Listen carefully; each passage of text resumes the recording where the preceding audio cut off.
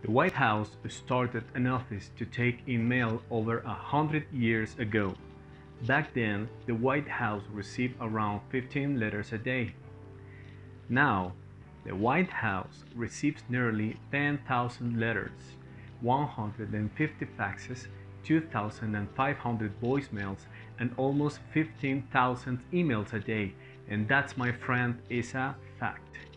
I'm Rafael Tayabs and this is another e-class and today we're going to talk about fact and opinion. Facts are its statements that can be proven true. Opinions are what someone thinks or feels about a topic. It is important to be able to distinguish between the two. Example, I am reading a book about recycling. The author gives facts such as the numbers of landfills currently operating in the United States. I know their facts because I can check details in other resources. The author also states that she thinks the advancement in recycling are great, but not enough. That's an opinion because feelings can't be proven. In our strategy for readers, we will find the text making a difference.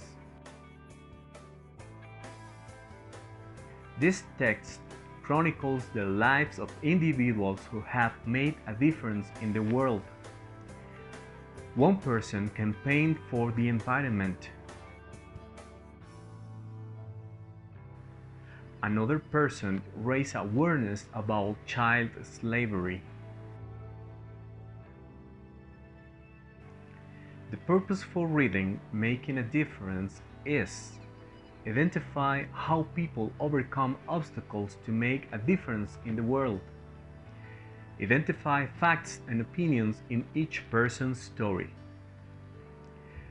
Make inference based on the text. Okay guys, explore the topic by answer this question in your notebook. What is a charitable organization?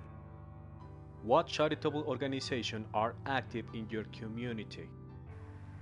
Well guys, it's all for today. I hope you have enjoyed this e-class. Remember to stay at home, keep distance and wash your hands. Bye.